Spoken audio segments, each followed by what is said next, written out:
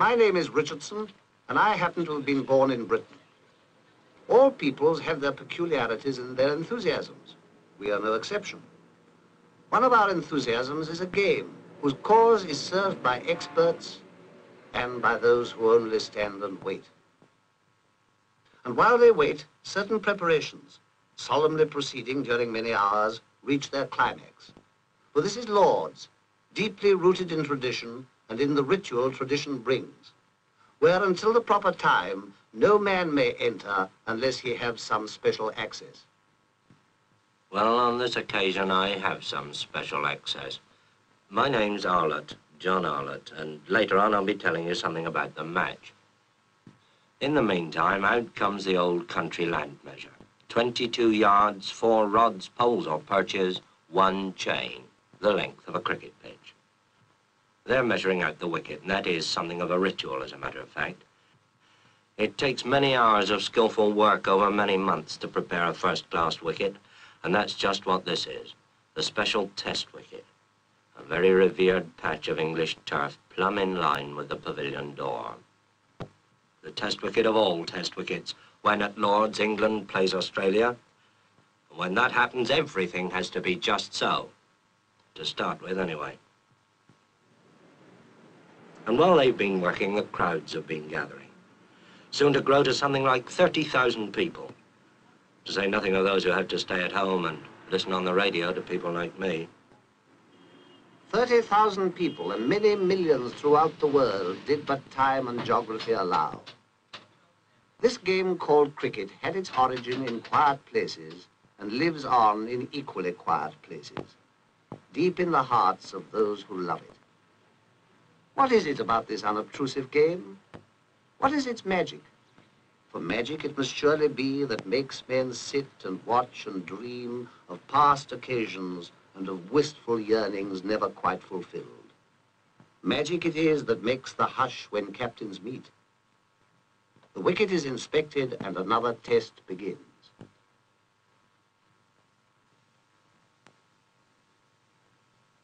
Don Bradman wins the toss for Australia, and Australia are going to bat. They're going to get first use of this good wicket. And here's the England side coming into the field. Yardley leading them, and here's Tom Dollery, Jim Laker, Denis Compton, and Douglas Wright of Kent at the end. And then, out of the pavilion gate, come Australia's opening pair, Barnes and Morris, Morris in the cap.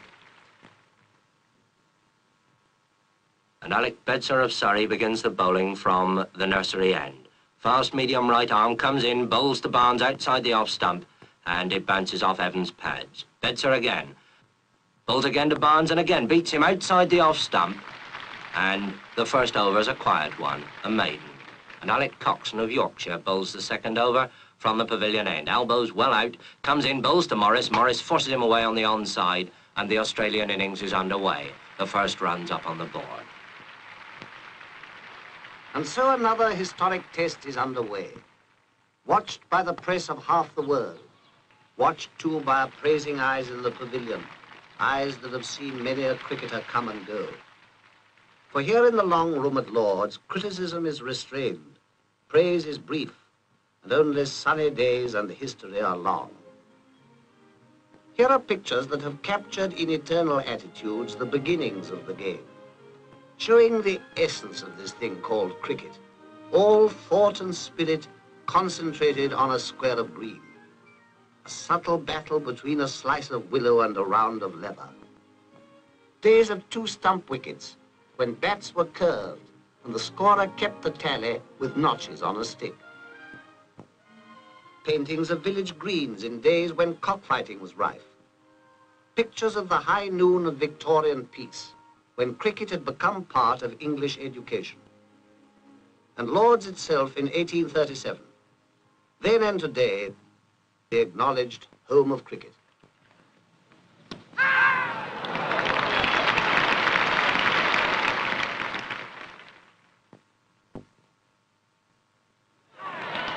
Australia's innings has come to a close. The score stands high and is duly noted. There is time to breathe until England takes the field. Now, cricket in the hands of the experts, more than a game. It's a craft at least, almost a science. Let's ask an expert, Bert Rhodes of Derbyshire, to bowl us a leg break on this demonstration wicket. Now, there's the spinning finger, the third one. See, cuddled close against the seam. It comes up. Now, this is the perfect leg break. Watch where it pitches. Just outside the line of the leg stump, and it turns enough to beat the off stump. And now, the orthodox, the natural break, spun off that index finger, the off break. And this pitches, watch it, outside the line of the off stump and it beats the leg stump. Now that's the right arm bowler's orthodox weapon. Let's see how the batsman copes with it. As the ball comes down to him, turning into him, well, all right, he just lets it hit the bat. That's why short-leg fieldsmen were born. Well, perhaps attack's the best method of defense. Down comes that off break again, and the batsman hooks it hard and high over those short leg fieldsmen, but not over deep square leg. There is a way of doing it, of course, over the ball as it moves into you and push it away along the ground as Edrich does this ball from Lindwall, playing it to Barnes. When England are 27 for one, which is nothing for Englishmen to be very happy about, and Ray Lindwall is bowling at full speed to Hutton. That ball's well up term and he pushes it away past mid-off for a comfortable two. Bradman moves round those hungry Australian slip fieldsmen and Lindwall, in one of the finest spells of fast bowling seen in England since Larwood, bowls again, this time to Edrich, and Edrich pushes him away out into the covers, quite safely.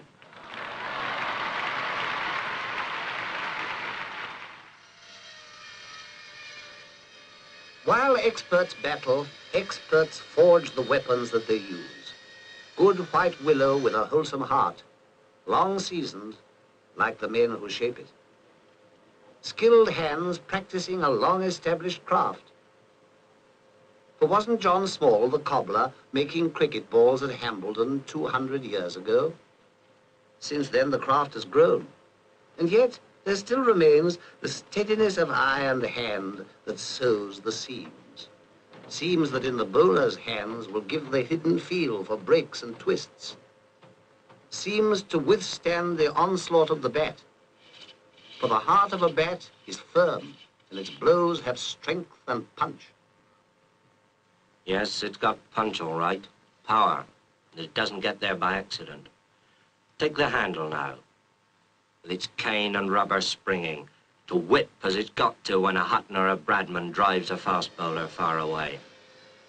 There's got to be good splicing for that kind of thing, too, but Cricket and craftsmanship go hand in hand, and when handle meets blade in a cricket bat, you've got a real piece of craftsmanship.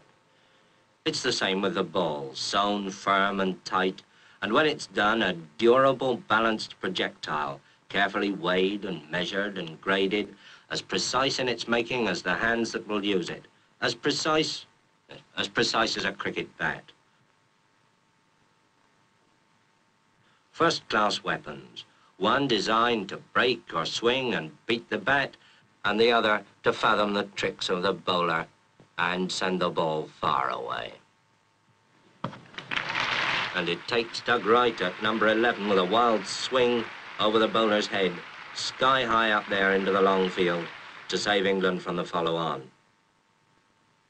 And Ray Lindwall, with four wickets already in the match, bowls again from the pavilion end and bowls Alec Bedser and England are all out for 215, 135 behind Australia on the first innings.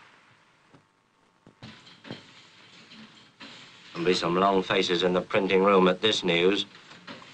There's quite an organisation down there. They keep abreast with the play, recording the fall of each wicket and the scores, so that late arrivals can pick up the score in detail straight away as they come in. With Australia 135 in front, they'll probably think that's a pretty sad three pennyworth. But now Australia have started their second innings. Bedser bowls to Barnes, his in-swinger, and Barnes puts it away down to long leg. Round comes Hutton, feeling at long leg, and there's that quick low throw to Godfrey Evans. And now Wright bowls to Morris, and he's out.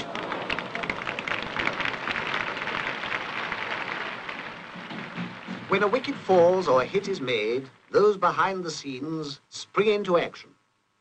What they record will go speeding over land and ocean. When a batsman strikes, The whole world outside will want to know the score. And when they know it, they'll cast an envious thought on those who sat at Lord's and watched. And there goes Barnes, magnificently caught by Washbrook at long on for 141. And Australia are now 431 in front. And now here comes Lindsay Hassett, the vice-captain, to face up to Norman Yardley. I suppose waiting for the earlier batsman, he's had his pads on for best part of four hours. Well, he needn't keep them on any longer.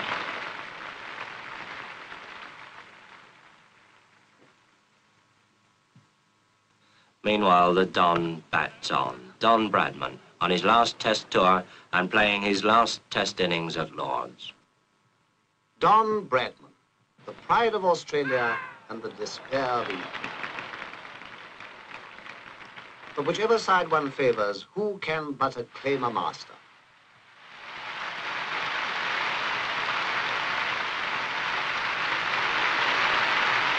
Bradman, whose name now joins the golden pageant. And it is a golden pageant. Let's look at just a few of them. Silver Billy Beldham of Hambledon, who in the 1780s became the first great batsman. William Lillywhite, the nonpareil, the man who changed bowling from underarm to round arm. William Clarke, the one-eyed Nottingham bricklayer, who with his All England 11 spread the gospel of cricket all through the country. The Lion of Kent, Alfred Mynn, the great fast bowler of the 1840s and 50s. Spofforth, the demon bowler from Australia, who in the great test of 1882 even took the wicket of the old man. W.G. Grace, the Gloucestershire country doctor who turned a rustic sport into the science of modern cricket. The first man to score a century before lunch in a test, Victor Trumper. Ranji, and the bowler who suspended the laws of timing, Maurice Tate. Clarrie Grimmett, the most accurate of all leg break bowlers. A problem even for England's great opening pair, Jack Hobbs of Surrey and his imperturbable Yorkshire partner, Herbert Sutcliffe. Jack Hobbs, the modern master, who, in the 1930s, resigned his supremacy to a young man from Bowral, Donald George Bradman. A pageant of 170 years of cricketers on whom the sun always shines. In retrospect, anyway. But cricket casts its own peculiar glow and in the years to come, this day too of rain and cloud will be sunlit in the memory. Will rain stop play? Anxious eyes survey the wicket. Willing hands turn to. But fate is kind and the battle is renewed.